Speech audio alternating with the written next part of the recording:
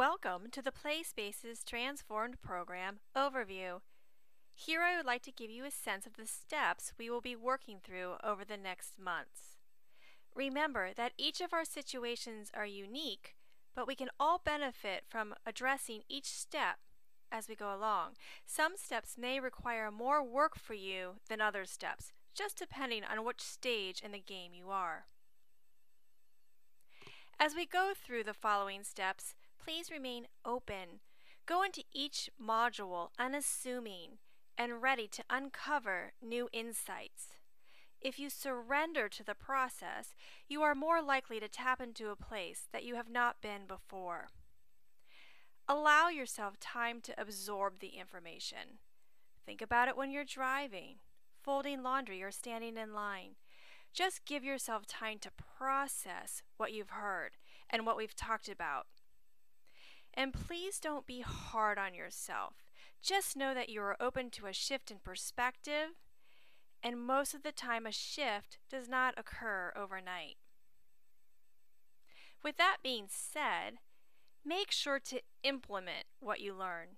Implementation does not have to be perfect, whatever that is, but it does need to occur. You only really learn by doing. And that's one of our main jobs here to make sure that our ideas are getting out of our heads and into the hands of our kids. Anyone can dream, and many of us do. But what really counts here is the doing. You will always find yourself making changes and adjustments no matter what.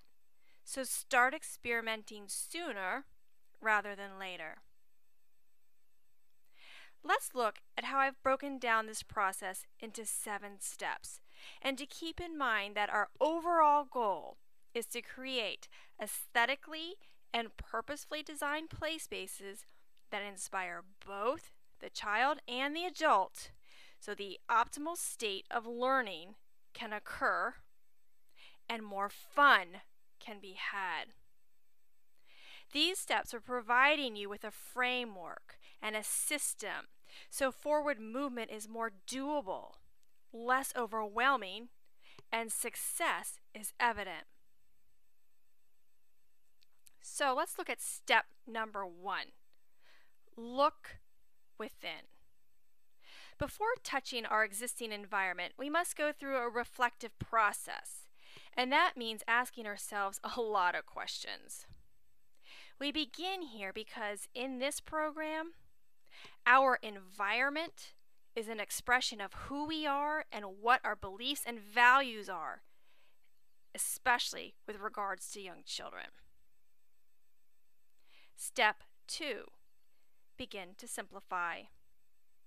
Once we've dug deep into understanding ourselves and what we want to offer the children in our lives, we need to begin to simplify. In general, we all have too much stuff, too many ideas, too much information. When there is too much, it is challenging to have clarity or enough energy to move forward. We can become distracted, overwhelmed, drained, or even frozen. By removing excess, we create space for what really matters. Step 3 Present on purpose. Once we've reduced the amount of stuff, our toys and books, our choices, by cutting them in half, and then again, and even maybe once more, we can then be deliberate about how we present their options to them. We learn how to make the choices clear, enticing, and available. A large component of this step is understanding how and where to store all of our things. Step 4 Consider materials versus toys. Once we've made our choices clear, available, and enticing, then we can take a closer look at what we are offering our children to play with. This is the time to see what additional materials we need to acquire to enhance the play experience. Here we also delve deep into the understanding of the play tray concept, working with unique combinations of sensory rich materials within a defined area. Step 5 Know your resources. Knowing where to look when wanting to make purchases is half the battle. Here you will receive a list of go to sources when needing non toy items for your space. Also, we will work on developing a deciphering eye so you can walk into any store and find a treasure. Step 6 Find your rhythm.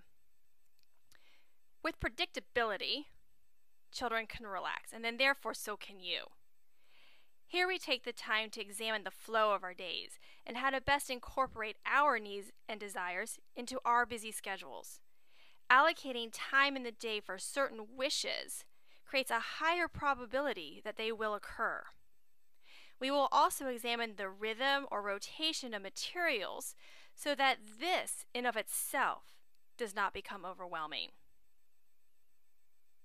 And step 7 create your oases. Tending to specific areas or elements of your environment is advantageous, but for implementation to be the most successful, the bigger picture needs to be addressed. There needs to be attention to details and overall mood. So we take a closer look at color, lighting, scent, and decor. So I hope you found this overview helpful and that you're pumped up and ready to make a difference in your life, your child's life, and perhaps in someone else's life that you haven't even met yet. So push up your sleeves and let's get to work. Your first step is found in Module 1. See you there.